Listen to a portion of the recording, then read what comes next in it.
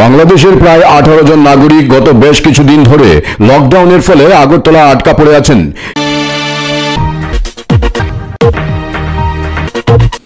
ABC News, Live.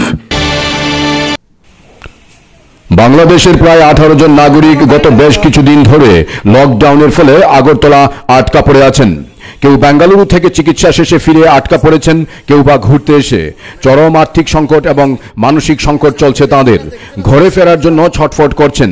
মিডিয়ার দৌলতে এ সংবাদ জানতে পেরে শুক্রবার কংগ্রেসের ছাত্র সংগঠন এনএসইউআইয়ের চারজন প্রতিনিধি স্থানীয় বাংলাদেশ ভিসা অফিসে গিয়ে ডেপুটি হাইকমিশনারের সঙ্গে এ নিয়ে কথা বলেন। তিনি প্রতিনিধিদের কথা দিয়েছেন।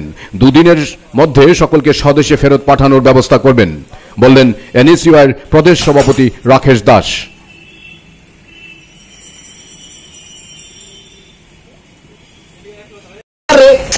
পক্ষ থেকে? ত্রিপুরা প্রদেশ এনএসও এর পক্ষ থেকে আমরা বাংলাদেশ অ্যাসিস্ট্যান্ট হাই কমিশন অফিসে ডেপুটি হাই কমিশনারের সঙ্গে দেখা করতে এসেছিলাম। এবং আমরা আসার পরে আমরা চার সদস্য ত্রিপুরা প্রদেশ এনএসও এর রাজ্য কমিটির থেকে আমরা গিয়ে দেখা করার পর আমাদের সঙ্গে কথা বলেছেন।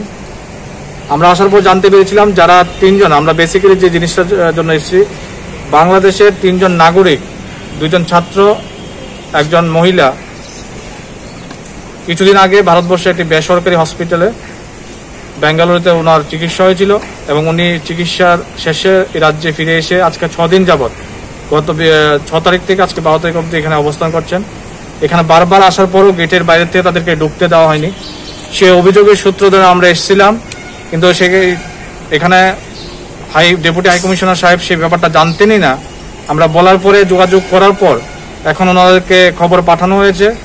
আজকে কালকের মধ্যে ওনাদেরকে বাংলাদেশে ফিরিয়ে দেওয়ার জন্য যা যা ডকুমেন্টারি কাজ দরকার তা তারা সম্পূর্ণ করবে এবং কালকে কালকের মধ্যে ফিরে দেওয়ার জন্য আমাদেরকে অসুস্থ হয়েছেন। এবং শুধু তিনজন না টোটাল আঠারো জন বাংলাদেশে এখানে নাগরিক তারা এখানে রাজ্যে অবস্থান করছেন।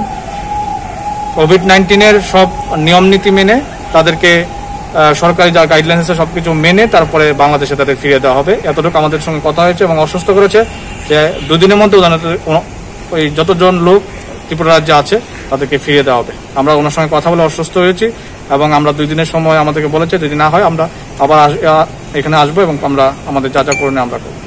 বিও রিপোর্ট এইবিসি নিউজ এইজিটি লাইভ